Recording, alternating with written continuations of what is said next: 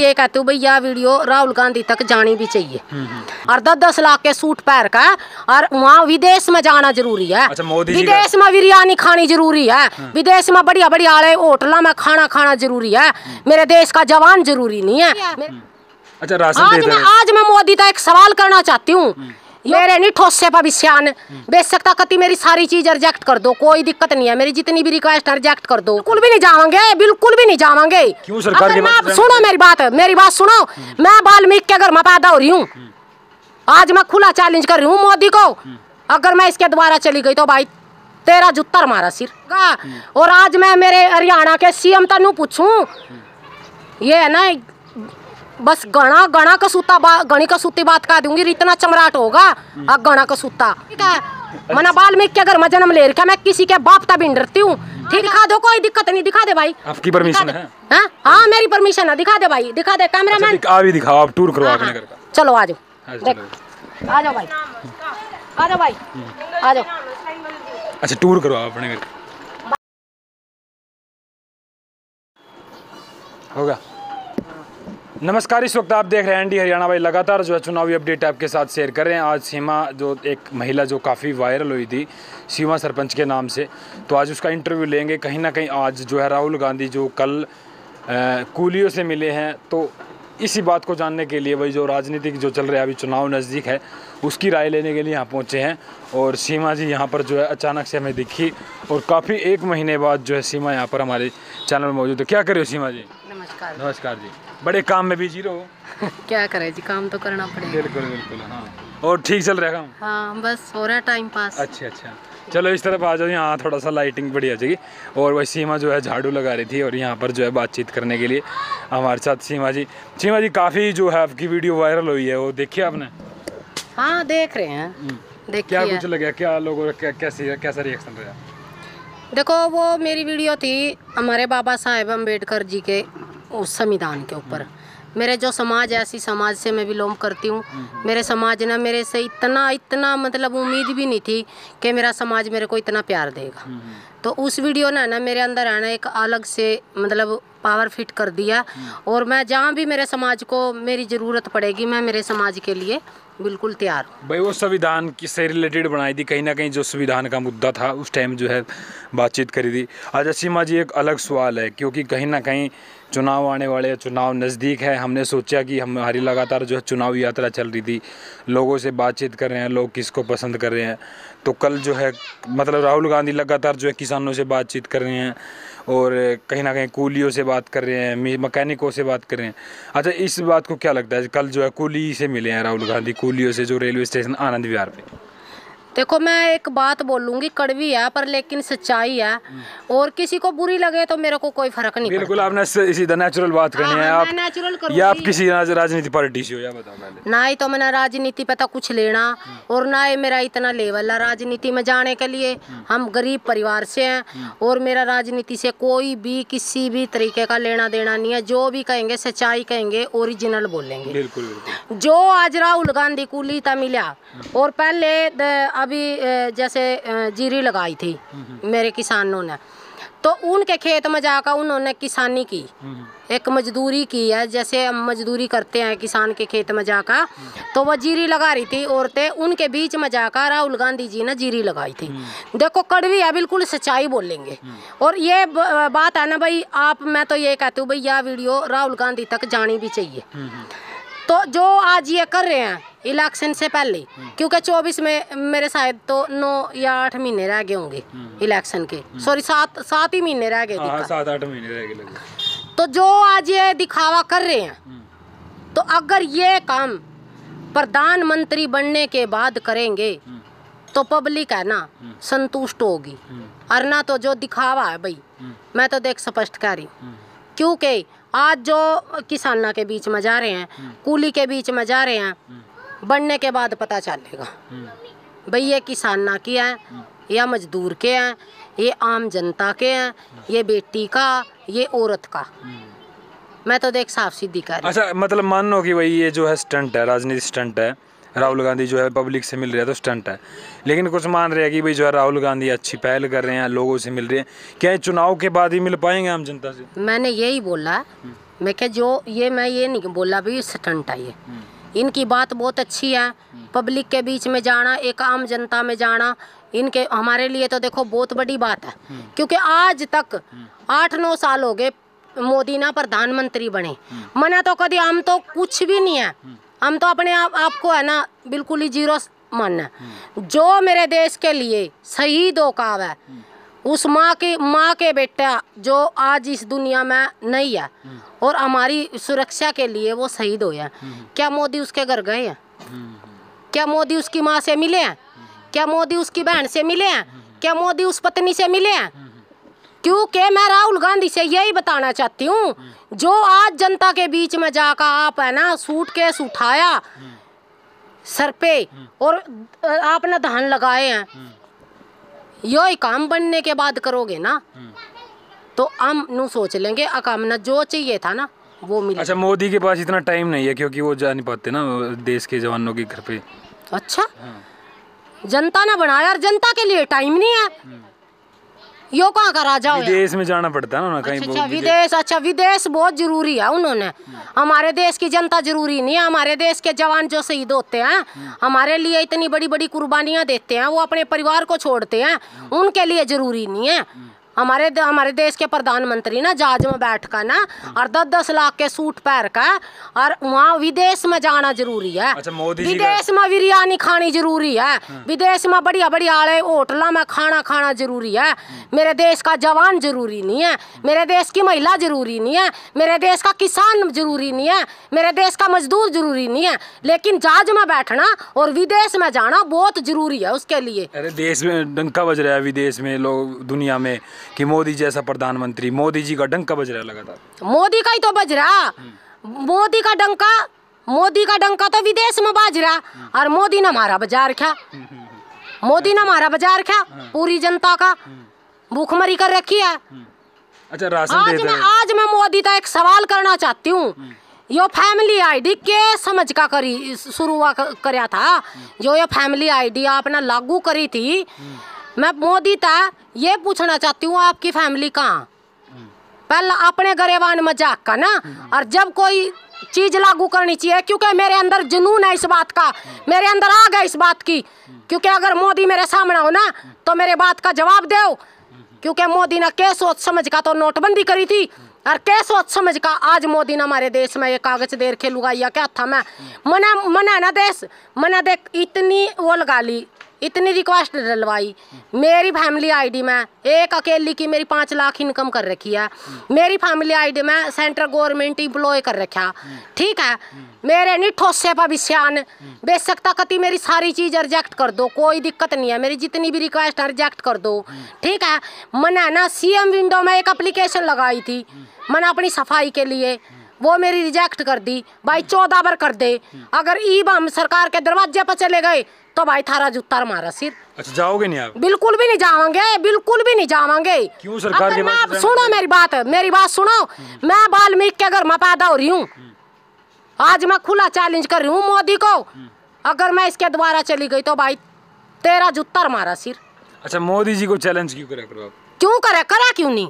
उल्टे काम कौन कर रहा? किसने उल्टे काम कर रखे हैं? हमने नहीं कर रखे हैं। एक बात बताओ मेरी अकेली की आज मैं मोदी का जवाब मांगूँगी इस बात का? मोदी तो बड़े बड़े नेताओं से नहीं मिलते आपसे कहाँ मिलेंगे? फिर जब तो जब तो चौबीस में आओगा जब तो देवांगे ना गंठा रोटी चौबीस में। अच्छा मिलेगा नहीं वोट इसका? किसका? मोदी जी को। वोट वोट नहीं बढ़ियाड़े बढ़ियाड़ा मिलेगा। देखिए तो। अच्छा बनेंगे नहीं मोदी जी दो हज़ार चौबीस में? वो कह रहे दुनिया में डंका बज रहा है मोदी जी। साल तक टोया भी नहीं पाओगा। पचास साल गया। और पर इतना अपना खत्म जोड़ा उठा के चल देंगे।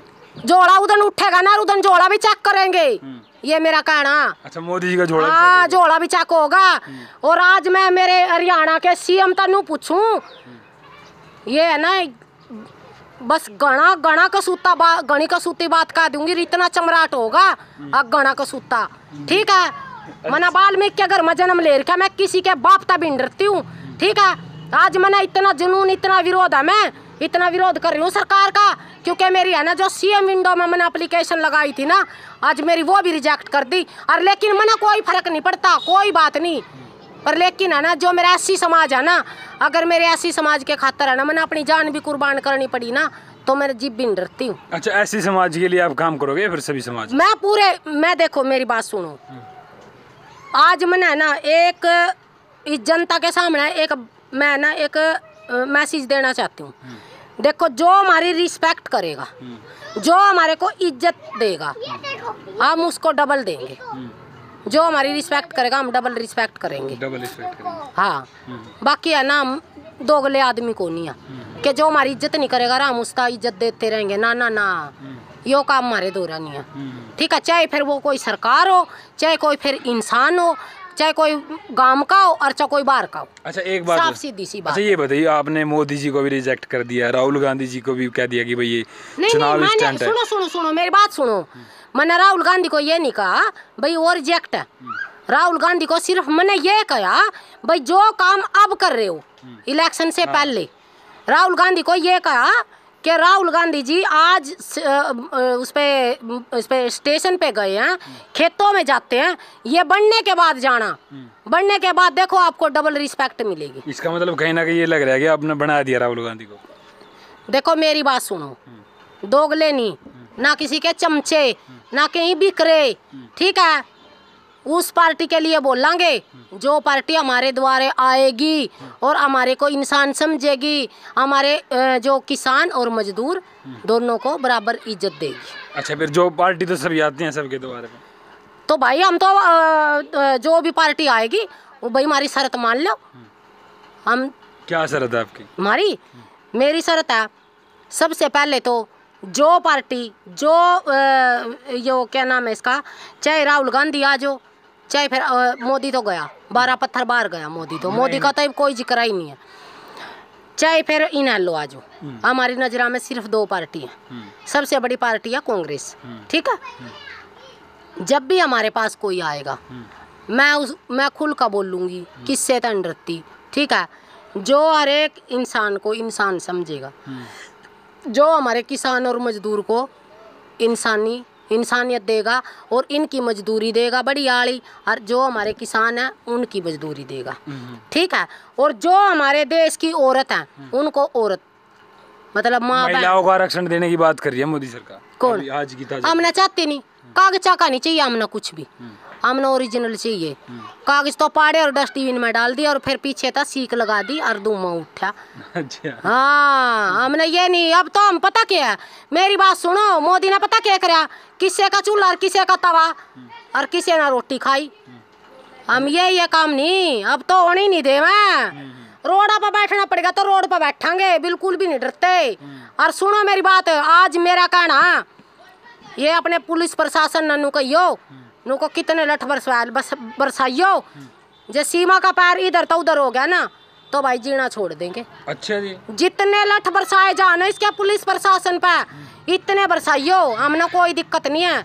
अगर सीमा का पैर इधर तो उधर हो गया ना तो मैं भी अपने बाप की बीजनी आज खुला चैलेंज है। और मैंने एक वीडियो में ये बोला था भाई उदन ही ना था मत कड़ी डलगी ना उदन चूड़ी पैरनी बंद कर देंगे। अच्छा जी। अच्छा डरते नहीं आप जेल बिल्कुल भी नहीं।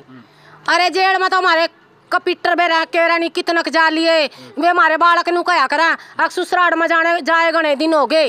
भाई हमने भी पियर में गणे दिन हो गए जाए। हम भी खाए आवेंगे घी बूरा। अच्छा जेल में इंसान जावे। ना मिलन दे कुछ भी ना मिलो। कुछ भी ना मिलो। क्योंकि जावांगे तो बढ़िया तरिया जावांगे। उनके फ़ायदा?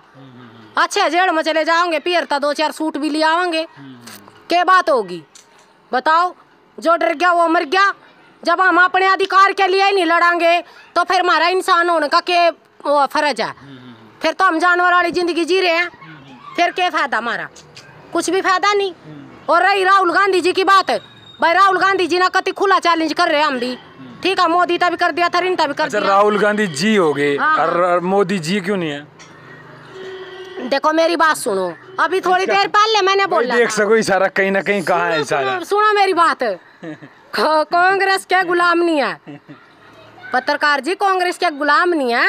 लेकिन मैंने ये बोला भाई अगर वो वो हमारे को इज़्ज़त देंगे तो हम भी देंगे डबल देवांगे। अच्छा बीजेपी सरकार ने इज़्ज़त दी है कि नहीं की बात? बिल्कुल भी नहीं। बिल्कुल भी नहीं। इज़्ज़त का तो पता चल रहा है सारी दुनिया ना मणिपुर में जाकर देखो। मणिपुर में जाकर देखो हमारे तन पर कपड़े भी कोनी थे। ठीक है पर कांग्रेस ने कभी नंगी कोनी नचाई औरत। ठीक है? कांग्रेस ने हमारे को जीना सिखाया था इंदिरा गांधी जी ने। इंदिरा गांधी जी ने ना जब महिला जब वो पहली बार प्रधानमंत्री बनी थी ना महिला पढ़न उसने सिखाई थी। बाहर उसने लिखन सिखाई थी महिला। पावरफुल महिला ना इंदिरा गांधी ने बनाई थी। और जो आज सोनिया गांधी है ना सोनिया गांधी प्रियंका गांधी सॉरी प्रियंका गांधी है ना इंदिरा गांधी है। अच्छे जी। हाँ। देखो भाई बड़ी बात कह दी भाई बड़ी बात है जी। बड़ी बात है बिल्कुल बड़ी बात है। आज तक ना तो राहुल गांधी था मिले और ना ये प्रियंका गांधी था मिले ना सोनिया गांधी था मिले हमारी औकात ही नहीं। पर लेकिन हम अपने आप में बहुत कुछ अच्छा हैं। हम अपने आप में बहुत कुछ हैं बहुत कुछ हैं। क्योंकि हम ऊपर वाले ने बना रखे हैं।